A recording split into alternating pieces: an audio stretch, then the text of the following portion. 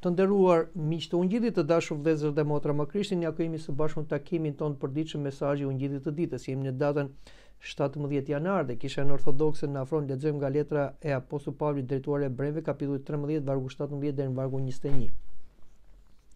Do përqendrohem vetëm në vargun 17 ku na thuhet bindjuni të parëve tuaj dhe dëgjojini, sepse ata rrinë zgjuar për shpirtrat tuaj, sepse Ata do të japin llogari që ta bëjnë këtë me gëzim, e jo duke psherëtirë, sepse kjo nuk ju bën dobi juve. Apostull Pavli kërkon të vendosë një rregull në komunitetin e krishterë, rregullin e bindjes. Kjo është e domosdoshme, sepse për këtë na ka mësuar vetë Zoti Jezu Krisht, i cili thotë për veten ë këto fjalë. Dhe më konkretisht lexojmë Unë s'mund të bëj asgjë nga vetja ime, gjykoj sipas asaj që dëgjoj dhe gjyqi im është i drejtë, sepse nuk kërkoj vullnetin tim, por vullnetin e Atij që më ka dërguar. Pra, Zoti Jezu Krisht tregoi bindjen e përsosur ndaj Atit Perëndi, duke mësuar edhe apostujt që t'i binden Atij, dhe apostujt ë, ë, Na mësuan që t'i bindemi Kishës, Kishës Apostolike. Vetëm me këtë rregull dhe hierarki atëherë jeta shpirtërore administrohet ashtu siç do Perëndia. Prandaj, të dashur më Krishtin, duhet të bindemi të parëve dhe Bindja ndaj të parëve është bindja ndaj Zotit, sepse autoriteti kryepriftëror dhe priftëri priftëror në kishë, pra flasim për episkopin, priftin, janë nga vetë Zoti, ata quhen ambasadorë të Zotit, pra të dërguarit e Zotit. Dhe bindja ndaj tyre është bindje ndaj vetë Krishtit. Dhe kur flasim për bindje, flasim për bindje që është sipas fjalës së Perëndisë, sipas mësimit dhe doktrinës së kishës sipas kanoneve të kishës. Pra, në qoftë se një episkop ose një prift nuk thotë fjalët e Zotit ose del jashtë doktrinës dhe kanoneve kishtare, nuk jemi të detyruar të bindemi.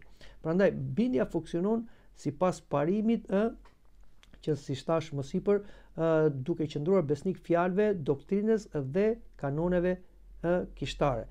Prandaj, besimtari duhet të bindet, Vetë Zoti i ka caktuar këtë detyrë episkopëve dhe priftërinjve, siç ia caktoi edhe apostull Petros, ë, që i tha, ë, Ruaj qingjat e mi, kulloti delet e mia. Pra, ë, kjo është një detyrë priftërore që ata e kanë tek ne besimtarët për të na ruajtur dhe për të na kullotur, domethënë ruajtur nga frymërat demoniake ose nga heretikët, dhe për të na kullotur në kullotat e doktrinës së krishterë.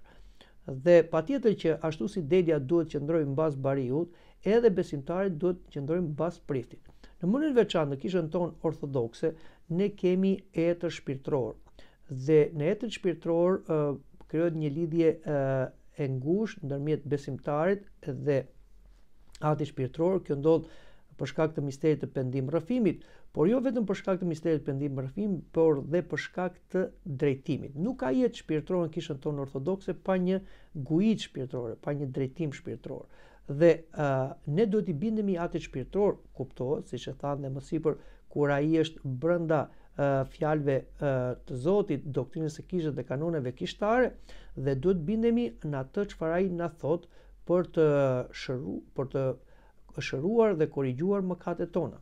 Dhe uh, patjetër uh, kjo është një shërbesë në të dy palët, pra si klerikët na urdhërojnë dhe ne duhet bindemi, pra është një lloj sinergjie dhe ata uh, këtë duhet ta bëjnë me gëzim, jo me uh, si të them dhe gëzimi ju vjen kur e bëjnë shërbesën pa imponim, pa rezistencë dhe aq më tepër e bëjnë me përgjegjësi sepse ata do të japin llogari përpara Perëndisë ë dhe e, nuk duhet ta bëjnë me psherëtimë. Fjala psherëtim do të thënë nuk duhet ta bëjnë me dhimbje, ë me kokçarje, me rezistencën ë që ju vjen nga mosbindja e besimtarëve, sepse kjo nuk është në dobi tuaj, thotë apostulli. Pra nuk është në dobi të besimtarëve. Në qoftë se nuk ka një ë një bashkëpunim, një bindje të laikëve ndaj klerikëve, atëherë ai komunitet nuk funksionon, ka një frymë rebele, është si ajo shpia e ndarë ndër veti që është e destinuar të shkatërrohet.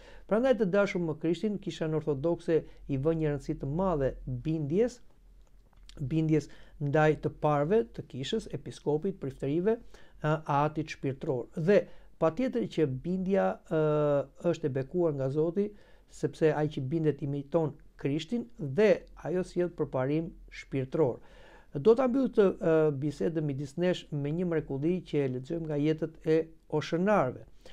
Një murg i ri, pra një rishtar shkoi tek një jerond dhe kërkoi të vihej nën bindjen e jerondit. Atëherë jerondi për t'i provuar bindjen, mori shkopin e tij e nguli në rërë dhe i tha këtij rishtari, Në qoftë se do të rrish këtu, shko merr ujë nga lumi që ishte shumë larg dhe vadite çdo ditë këtë shkop derisa të mbijë. Rishtari, i cili ishte një shëmbull bindje, nuk logjikoi, por shkonte çdo ditë në mes të vapës dhe kthehej në darkë me kovën e mbushur nga uji, nga lumi dhe vadiste ë vadiste këtë shkopin e thatë.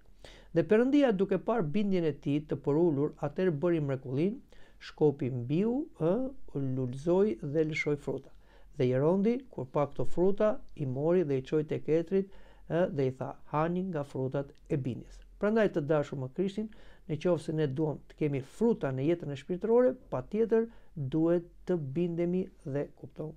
flasim të bindemi, të bindemi të parëve, ë klerikëve, atit shpirtëror, ë dhe kjo është në dobinë dhe në interesin tonë. Në të kundërtën, atëherë kjo nuk ju bën dobi juve, na thotë apostull Pavli dhe rrezikon dhe vetë shpëtimin. Mendoj që këtu ta mbyllim edhe takimin për sot, për t'u takuar në takimin e ardhshëm. Deri atëherë mirupafshim.